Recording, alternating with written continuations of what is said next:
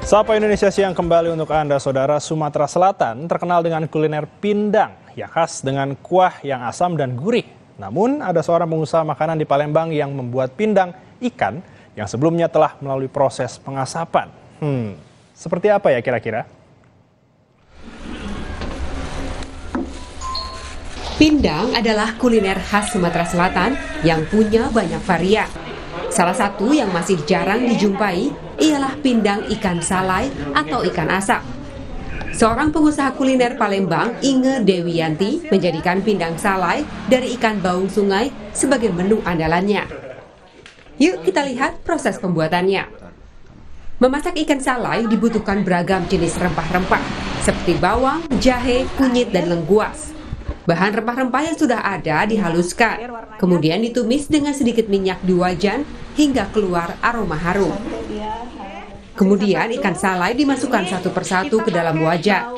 Tambahkan aneka bahan lainnya sesuai selera, seperti potongan terong bulat, irisan nanas, daun kemangi, serta cabai rawit. Aduk hingga rata dan kuah meresap ke dalam daging ikan salai.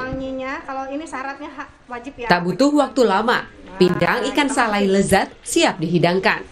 Lantaran ikan yang dimasak merupakan ikan asap, pindang ini pun memiliki aroma khas yang berbeda dari pindang lainnya. Maka tak heran bila Inge memiliki pelanggan setia. Pindang sale ini ikannya. Ikan ini sudah mengalami proses pengasapan. Jadi kalau biasanya kan ikan baung mentah biasa langsung dimatangin di sini, tapi ini sudah diasapin dulu itu yang membedakannya.